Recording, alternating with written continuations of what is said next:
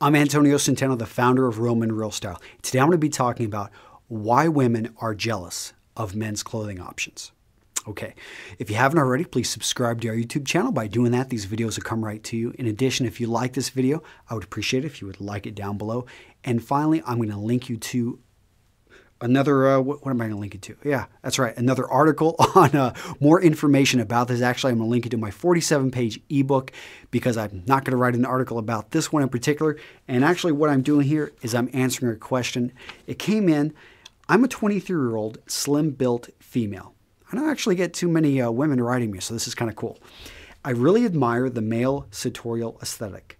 I don't like frilly, pretty fashions. I like the sharp, tailored look but don't know how to adapt the style I like so much on a man for myself. I was particularly piqued by the title of your latest YouTube video, Why Dressing Sharp is Simple for Men. It was, it was a good video, and I really explain, I think, uh, you know, why it is simple for us. And so she often finds herself admiring men's clothing and going so far as to even try them on, but it doesn't work for her. So basically, the question is what can she do? She loves menswear, but she doesn't want to look butch. She's a young petite female, and she's just wondering why is she jealous? Well, I'm just going to say it. She's jealous of men's clothing, and nothing wrong with that because as guys, we don't even know how good we have it. And let me explain. Men's clothing is all about quality, simplicity, and fit. Now I'm talking higher end men's clothing. I'm not talking about most of the stuff that guys are out there wearing.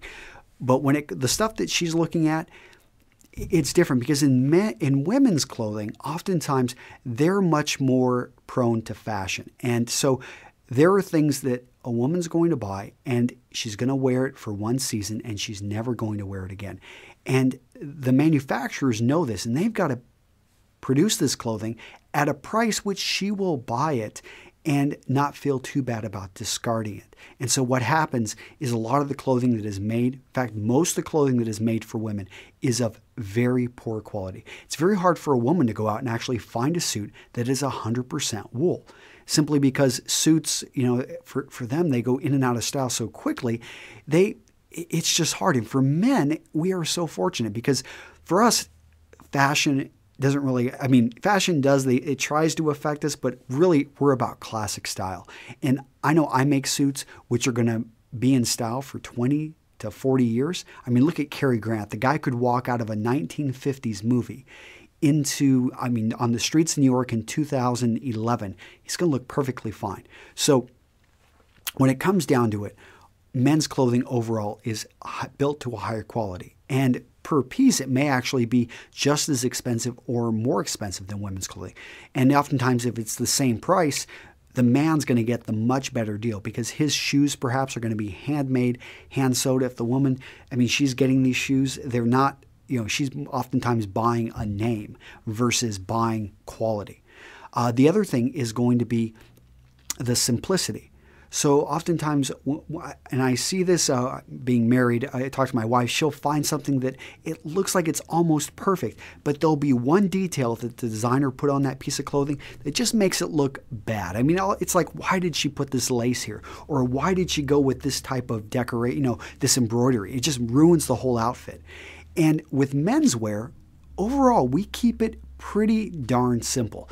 And that's great because we allow, in a sense, each individual piece to stand on its own. And yes, you can mix and match to try to make things, you know, a little bit more exciting, bring in some color, but overall, our clothing is simple. Finally, fit.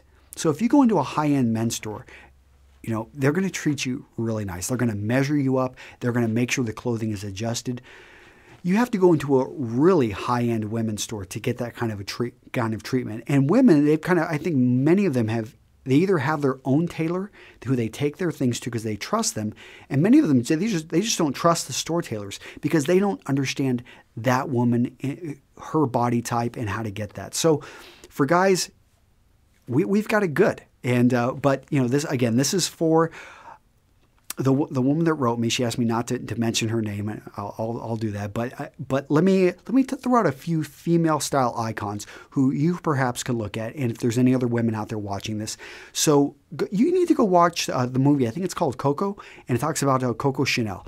And a great movie. I really liked it simply because here's a woman bucking the trend, and she's in a time period in which all women are wearing just gaudy, I mean, over the top outfits, and she wanted to go towards simplicity and quality. And it's a great movie. I think you'll enjoy it. And to look for a modern, I, I, think it's a modern female style icon. Look at a woman called Yulia Tymoshenko, and she was the former prime minister of Ukraine. So here's a woman, and one of Ukraine's, and this is a country of almost 50 million people, one of Europe's or, or Eastern Europe's highest ranking public officials and yet, when you look at this woman, she had style. And there, she wasn't just, I mean, she was oozing professionalism, but she was still oozing sexuality. And this is a woman, she's, gosh, she's got to be over 50. But I mean, you look at pictures of her and you're like, wow, this, she, I think she was voted easily one of the top five hottest politicians ever. I mean, she yeah, I don't even want to mention the her, you know, who she's being compared to in the U.S. But let's just say she blows everyone out of the water. She's amazing. She looks better than her 20-something-year-old daughter, and uh, a lot of it is all about her presentation. And she's very professionally clothed, but the way the clothing fits her and the way the what the styles that she brings in, amazing.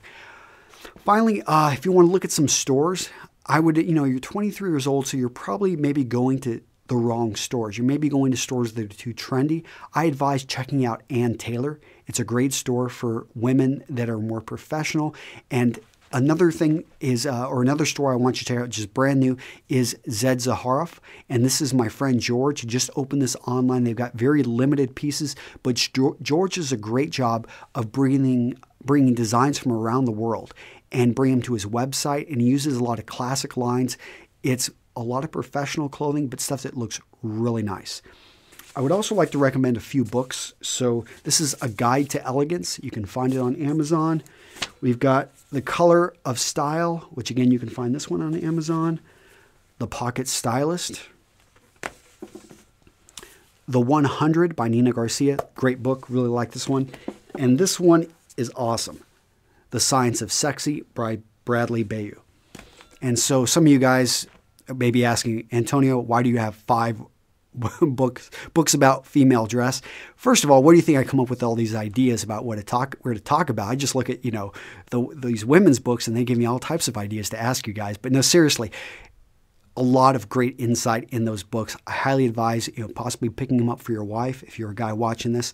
I don't know about you guys, but I like my wife to look good, and uh, that's why we have three kids. But Okay, last thing I'm going to hit on is what can you do as a woman to, you know, let, us say you, have already been to Ann Taylor, you've checked out Zed Zaharoff, you know, but what can you do with the current clothing in your wardrobe?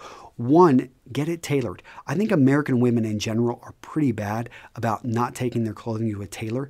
I, I mean, um, American men are worse, but American women, it seems like they, they walk around in their pajamas and they've forgotten that there are tailors and seamstresses out there who can take their clothing and make it just look great for their body shape. Another one is pick up classic pieces. So one of those books I showed you, it's got the Nina Garcia's 100. Look at those. I mean, the trench coat, classic, military, comes from a male. I mean, that what doesn't get more manly than a trench coat? But a woman in a trench coat, especially one made for her, looks great uh, accessories. So you can take something that, if you didn't accessorize it, would look very masculine, but once you throw on a few accessories, it's going to look perfect for you. Uh, and finally, consider having some pieces custom made. I don't make women's wear. It's just something I'm not wanting to get into, but there are many custom tailors out there. If you need a good pencil skirt, you can't find one that fits you right or made from the right material, well, go to a tailor and have that skirt made. It's a classic piece and it'll go great with your wardrobe. Okay, well, guys, just to warn, I'm not going to get much more into women's uh, clothing at this point, but I did want to answer. It was a good question, and uh, I kind of went with a little bit of a sensational bit of a uh, title there, but uh, I don't know. Let me know what you think. Hopefully, you like it. I'll see you guys in the next videos. Bye bye.